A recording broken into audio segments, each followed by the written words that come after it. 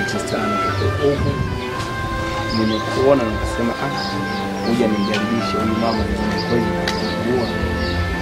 Mimi mwoga kwenye kutongoza, unaona. Alafu mimi ndo mara kwanza kutongoza, kwa hiyo nilikuwa naomba kukosea nikakukosea unarekebisha, sio unaona. Kwanza si nyumbani kwetu tukila chiti ya sana hiyo alafu msukule wetu nyumbani. Anakula chipsi nguo zetu tunafulia maji ya darasani, unaona. Yaani unaponiangalia mama, mimi mwenyewe nasikia kama hii bora ungenipa namba ya simu.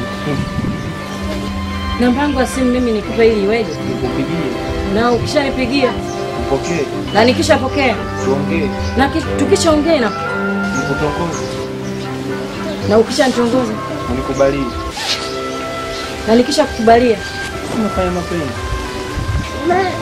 yaani vijana wa sasa hivi mna matatizo, yaani akili yako inaanza mapenzi mapenzi. Haya, kwa mfano mimi nimekubalia, una malengo gani na mimi? Mama, kiukweli, msema ukweli, ni mpenzi wa Mungu, unaona. Mimi kiukweli malengo yangu nikutie mimba, nikukimbia basi.